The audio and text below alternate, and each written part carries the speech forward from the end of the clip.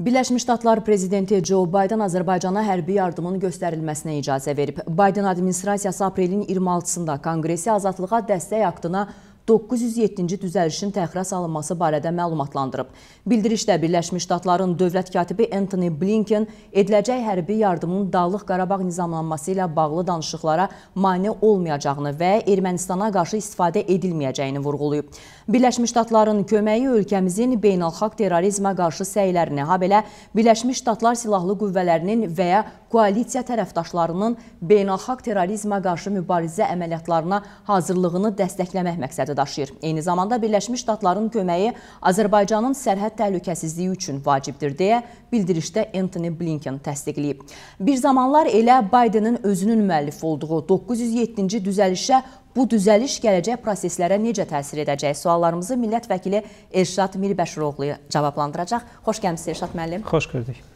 Elşad müəllim, elə əvvəl ondan başlayaq ki, 907-ci düzəlişin müəlliflərindən biri də e, Joe Biden idi və e, Joe Bidenin e, bax bu düzəlişi 907-ci düzəlişi təxirə salması əslində onun keçmiş səhvlərini etiraf etməsi anlamına gəlmirmi ki və bu ümumiyyətlə nəyə hesablanan bir addımdır? İcazə verin öncə 907-ci düzəlişin hansı tarixi şəraitdə qəbul olunması haqqında qısaca danışım. Hesab edirəm ki, burada vacib məqamlar mövcuddur. Xatırlatmaq istəyirəm ki, 1992-ci ilin oktyabr ayında qəbul edilmiş 907-ci düzəliş sözün həqiqi mənasında Amerika Birləşmiş Ştatlarının xarici siyasətinin çox anormal bir istiqaməti idi. Hətta ayrıca olaraq xatırlatmaq istəyirəm ki, Amerikalı senator Thomas Deval elə bunu bu cür adlandırmışdı. Yəni qeyd etmişdir ki, 907-ci düzəliş Amerika xarici siyasətinin anormal bir istiqamətidir. Nəzərə almaq lazımdır ki, elə həmin o 1992-ci ildə Ermənistan fəal şəkildə Azərbaycanlılara qarşı soyqırım həyata keçirməkdə idi. Yəni 907-ci düzəliş 1992-ci ilin payızında qəbul olunub, amma ondan bir neçə ay öncə 1992-ci il fevral ayının 25-dən 26-sına keçən gecə ermənilərin Xocalıda törətmiş olduğu qətliam haqqında elə Amerika Birləşmiş Ştatlarının da aydın təsəvvürləri var idi. Və yaxud da ki, Xocalı soyqırımından bir həftə öncə Qaradağlı faciəsini xatırlatmaq istərdim. Başqa bir qanlı cinayət də ermənilər tərəfindən aprel ayının 8-də Kəlbəcərin Ağdaban kəndində törədilmişdir. 67 nəfər dinc insan vəhşicəsinə qətlə yetirilmişdi. Diqqət yetirin, bundan bir neçə ay sonra Amerika Birləşmiş Ştatları 907-ci düzəlişi tətbiq edir. Və tətbiq olunma səbəbi də ondan ibarətdir ki, güya Azərbaycan erməni azlığını və Ermənistanı blokada şəraitində saxlayır. Amma 4 qonşusundan 3-ünə ərazi iddiası olan bir dövlət 907-ci düzəliş tətbiqindən kənarda qalır. Və xatırlatmaq yerinə düşərdi ki, həmin dövrdə Azərbaycana, Ermənistana, Gürcüstana, Ukraynaya və Qırğızstana münasibətdə azadlığa dəstək aktına 907-ci düzəliş əlavə olunmuşdu. Amma qısa zaman kəsiyində Azərbaycandan başqa digər dövlətlərə münasibətdə 907-ci düzəliş ləğv edildi. Olduqca ədalətsiz bir yanaşma idi. Elə Amerika Birləşmiş Ştatlarının ikili standartlar siyasətinin bariz nümunəsi idi. Və siz çox doğru qeyd etdiniz. Həmin dövrdə McCain-lə yanaşı e, Joe Biden də 907-ci düzəlişin qəbul olunmasında çox böyük fəallıq nümayiş etdirmişdilər. Lakin zamanla Amerika Birləşmiş Ştatlarının milli təhlükəsizlik məsələsi öz həllini gözləyən bir sıra elementləri ortaya qoymuş oldu. Belə ki, 2001-ci il sentyabr ayının 11-də bildiyimiz kimi Amerika Birləşmiş Ştatlarında terror aktı həyata keçirildi.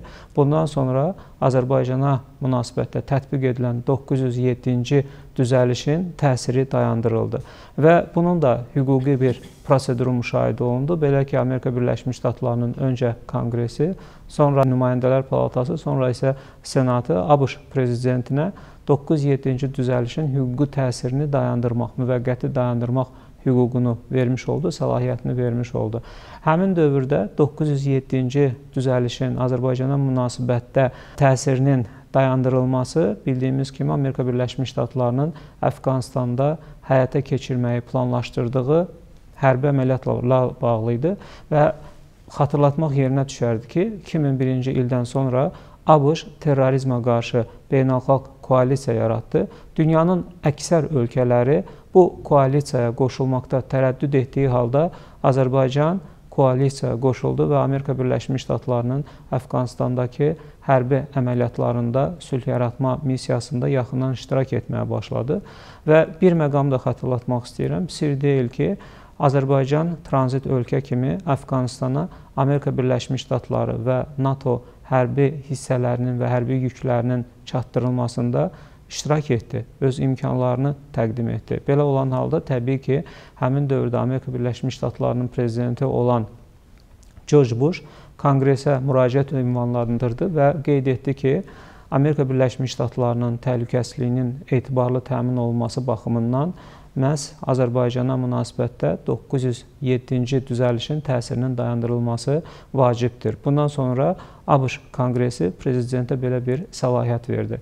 Konkret olaraq sualınızın cavabında bildirmək istəyirəm ki, Joe Biden elə 90-cı illərin əvvəllərindən də Amerika Birləşmiş Ştatlarında fəaliyyət göstərən erməni lobbisi ilə yaxın əməkdaşlıqda olubdu və birbaşa onun təsiri altında olubdu. Joe Biden özü də dəfələrlə 907-ci düzəlişin aradan qaldırılmasına qarşı çıxıbdı. Xatırlatmaq lazımdır ki, Azərbaycan 1992-ci ildən 2001-ci ilə qədər 907-ci düzəlişin aradan qaldırılması istiqamətində dəfələrlə danışıqlar aparılıb və erməni lobbisinin, eyni zamanda da Joe Bidenin birbaşa iştirakı ilə, təsiri ilə 907-ci düzəlişin aradan qaldırılmasının qarşısı alınıbdır. İndi bu gün təbii ki, Amerika Birləşmiş Ştatlarının milli maraqlarından çıxış olunaraq, ayrıca olaraq ABŞ-ın təhlükəsizlik prioritetlərinin tələbindən irəli gəlinərək Azərbaycana münasibətdə növbəti dəfə 907-ci düzəlişin təsiri müvəqqəti olaraq dayandırıldı. Hesab edirəm ki, 907-ci düzəlişin təsirinin müvəqqəti olaraq dayandırılmasının özü də Azərbaycana münasibətdə növbəti dəfə ədalətsizlikdir. Çünki bunu Amerika Birləşmiş Ştatlarının prezidentinin bir məktubu ilə Konqres ümumiyyətlə ləğv edə bilər və Amerika Birləşmiş Ştatları ilə Azərbaycan arasında münasibətlərdə həmişə öz təsirini göstərən 907-ci düzəliş birdəfəlik tarixin arxivinə qovuşa bilər. Xatırlayırsınızsa, hələ Madeleine Albright, Amerika Birləşmiş Ştatlarının dövlət katibi bildirmişdi ki, 907-ci düzəliş Amerika Birləşmiş Ştatları ilə Azərbaycan münasibətlərinə çox ciddi mənfi təsir göstərir və Amerika Birləşmiş Ştatlarının Cənubi Qafqaz regionunda kifayət qədər strateji əhəmiyyətli maraqları mövcuddur. 1998-ci ildə Bill Clinton Cənubi Qafqaz regionunu Amerika Birləşmiş Ştatlarının həyati vacib maraqlar zonası elan etmişdi. Təbii ki, Rusiyanın Avropa üzərində təsir imkanlarının azaldılması baxımından Avropa İttifaqının enerji təhlükəsizliyinin etibarlı təmin olunmasının çox mühüm strateji əhəmiyyəti mövcuddur.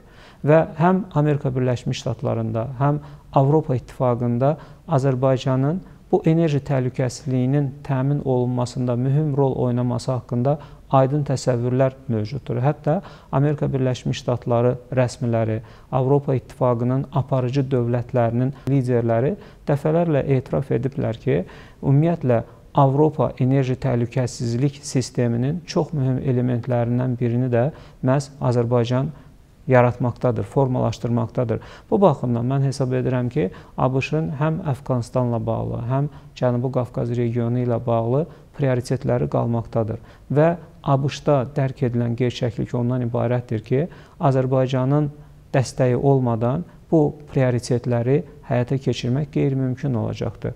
Və bu baxımdan da belə qənaətə gələ bilirik ki, Amerika Birləşmiş Ştatları yenə də Azərbaycana olan ehtiyacı baxımından 907-ci düzəlişin təsirini dayandırdı.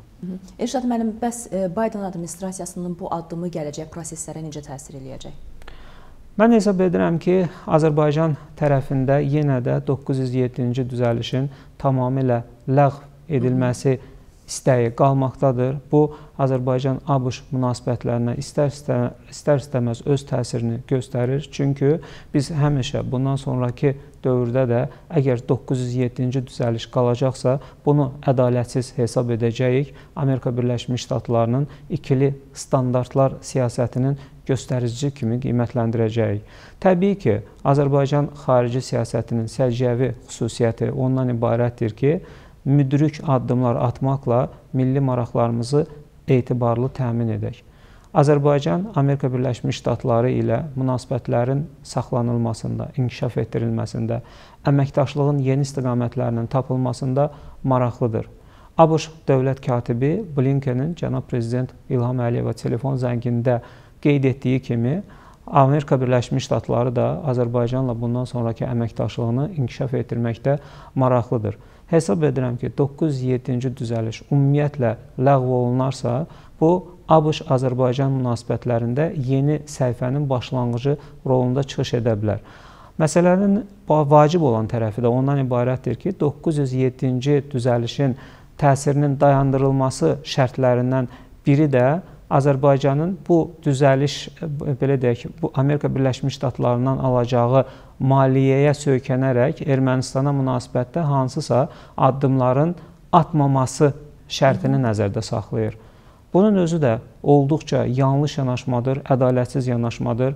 Azərbaycan heç bir dövlətin ərazi bütövlüyünə qəsd etməyib Ermənistandan fərqli olaraq və Cənubi Qafqaz regionunda xalqların dinc yanaşı, mövcud olmaları, inkişaf etmələri təşəbbüslərini irəli sürübdür. Və Cənubi Qafqaz regionunda təhlükəsizliyin, sülhün təminatçısı rolunda bu gün Azərbaycan dövləti çıxış etməkdədir. Ermənistan isə əksinə bir alət rolunda qalmaqda davam etməklə Cənubi Qafqaz regionunda təhlükəsizliyi və sülhü daim təhdid qarşısında saxlayır, təhdid altında saxlamaqdadır.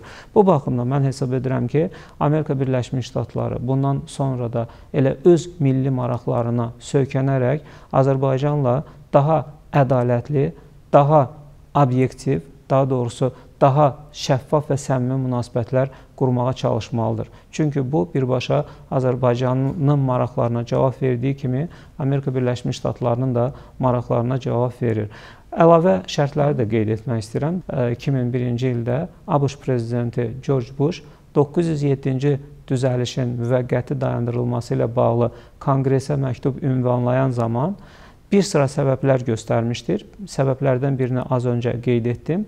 Başqa digər səbəblər ondan ibarət idi ki, Amerika Birləşmiş Ştatlarının təhlükəsizliyi baxımından Azərbaycanın dəstəyi lazım olan halda Ayrıca olaraq Azərbaycanın özünün sərhəd təhlükəsizliyinin təmin olunması üçün lazım olan halda Amerika Birləşmiş Ştatları prezidenti 907-ci düzəlişi dayandırmaq səlahiyyətlərinə malikdir. Amma diqqət yetirin, Ermənistan tərəfi, dünya erməniçiliyi 907-ci düzəlişin Azərbaycana münasibətdə qalmasında öz maraqlarını təmin etdiklərini düşünürlər. Amma bugünkü nəticəyə diqqət yetirsək görərik ki, əslində 907-ci düzəliş sadəcə olaraq Amerika Birləşmiş Ştatları Azərbaycan münasibətlərinə kölgə salan bir element kimi qalmaqdadır. Əslinə qalsa 2001-ci ildən bu yana qədər, yəni 907-ci düzəlişin təsirinin müvəqqəti olaraq hər il dayandırılması sayəsində Azərbaycan Amerika Birləşmiş Ştatlarından 400 milyon dollardan artıq hərbi və digər təyinatlı yardım alıbdır. Ermənistan isə cəmisi 200 milyondan biraz artıq bu yardımı ala bilibdir və Ermənistan tərəfi də bununla bağlı Amerika Birləşmiş Ştatlarına hər zaman öz iradlarını bildirir. Göründüyü kimi uduzan tərəf yenə də Ermənistandır və yaxud da ki, dünya erməniçiliyinin bu məkirli siyasəti də onların maraqlarına, istəklərinə uyğun səviyyədə xidmət etməyibdir. Amerika Birləşmiş Ştatları həmişə Azərbaycanın rolunu yüksək qiymətləndiribdir və Azərbaycanın Avropanın enerji təhlükəsizliyində oynadığı rolu Amerika Birləşmiş Ştatlarının öz milli maraqları üçün strateji əhəmiyyətli hesab edibdir. ABŞ-ın biz bunu dəfələrlə qeyd etmişik, başlıca prioriteti ondan ibarətdir ki, Avropa İttifaqı Rusiyanın təsirindən tam azad olunsun.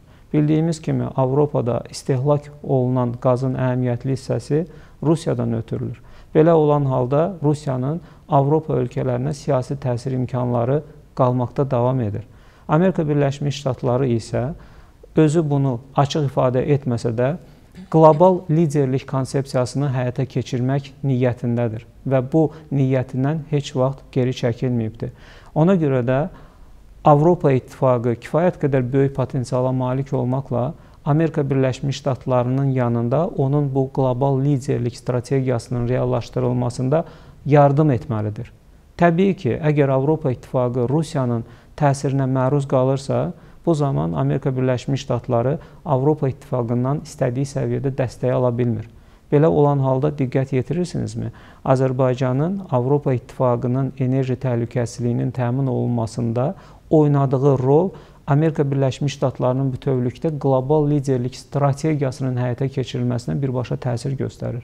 Bu baxımdan da mən hesab edirəm ki, əksinə Azərbaycanın Amerika Birləşmiş Ştatları ilə əməkdaşlığa o qədər yox, Amerika Birləşmiş Ştatlarının Azərbaycanla əməkdaşlığına daha çox ehtiyacı var və Amerika Birləşmiş Ştatlarının rəsmi dairələri də öz mövqelərində, bəyanatlarında bunu etiraf edirlər.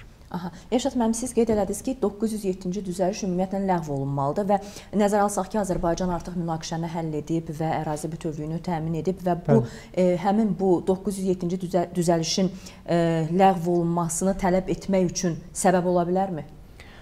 Bilirsiniz, burada paradoksal bir vəziyyət yaranır. Az öncə vurğuladım ki, 1992-ci ildə Ermənistan tərəfi Azərbaycan torpaqlarını işğal etməkdə idi. Hı -hı. Azərbaycanlılara qarşı qanlı cinayətlər törətməkdə idi. Amma bütün bunlara baxmayaraq Amerika Birləşmiş Ştatları 907-ci düzəlişi tətbiq etdi. Bu gün Azərbaycan hərbi gücü ilə Ermənistan ordusunu darmadağın etdi. Yəni Ermənistan dövlətini məğlub edərək öz torpaqlarını işğaldan azad etdi. Amerika Birləşmiş Ştatlarının bundan sonra 907-ci düzəlişi qüvvədə saxlamaq üçün heç bir siyasi və mənəvi haqqa malik deyil. Əksinə, Azərbaycan yeni bir məzmun kəsb edən dövlət olaraq həm siyasi baxımdan, həm iqtisadi baxımdan, həm də hərbi baxımdan Amerika Birləşmiş Ştatları üçün daha gərəkli tərəfdaşdır. Çünki Cənubi Qafqaz regionunda dünənə qədər müşahidə olunan reallıqlar artıq tamam başqa bir müstəviyə qədəm qoyubdur. Azərbaycanın təşəbbüsü ilə Cənubi Qafqaz regionunda strateji əməkdaşlıq platforması təqdim olunur və bu platformanın strateji cəhəti ondan ibarətdir ki, bütövlükdə regional dövlətlərin hamısının iştirak edəcəyi əməkdaşlıq platforması müvafiq olaraq elə həmin dövlətlərin də iştirakçısı olduğu, onların təminat verdiyi təhlükəsizlik sisteminin yaradılmasına şərait yaradır. Və bir regionda ki, sülh, təhlükəsizlik mövcuddursa, orada həm geosiyasi, həm geoiqtisadi maraqları etibarlı təmin etmək imkanları da böyük olur. Bu baxımdan Amerika Birləşmiş Ştatları Azərbaycanın bugünkü rolunu, yerini ayrıca olaraq da Cənubi Qafqaz regionunda yaratmış olduğu siyasi və iqtisadi reallıqları daha yüksək qiymətləndirməlidir. Azərbaycanla daha yaxından əməkdaşlıq etməlidir. Bunun üçün isə hesab edirəm ki, bir mənalı olaraq 907-ci düzəliş ləğv edilməlidir. Elşad mən çox qısa xahiş edirəm. Amerika prezidentinin bu addımı əlbəttə ki, Ermənistanda kəskin reaksiya doğuracaq və həddindən artıq gərgin vəziyyətdə olan Ermənistan tərəfindən hansı addımlar atıla bilər? Hər il 2021-ci ildən başlayaraq 907-ci düzəlişin təsiri müvəqqəti olaraq dayandırılır. Bəli, Ermənistan tərəfi öz iradlarını bildirir, amma bütövlükdə hər hansı bir praktiki addım ata bilmir. Amerika Birləşmiş Ştatlarının daxili auditoriyası üçün hesab edirəm bu çox da önəmli məsələ deyil. Amerikalılar üçün başlıca məqsəd milli maraqlarının etibarlı təmin olunmasından ibarətdir. 907-ci düzəlişin təsiri müvəqqəti dayandırılan zaman da ABŞ-ın milli maraqlarının təmin olunması məsələsinə söykənilir. Təşəkkür edirəm Şadman. Çox sağ olun. Qonağımız millət vəkili Elşad Mirbəşiroğlu idi. Biz Birləşmiş Ştatlar prezidenti Joe Bidenin Azərbaycana hərbi yardımın göstərilməsinə icazə verən 907-ci düzəlişi təxirə salması və bunun gələcək proseslərə təsirini müzakirə edirdik. Görüşənədək.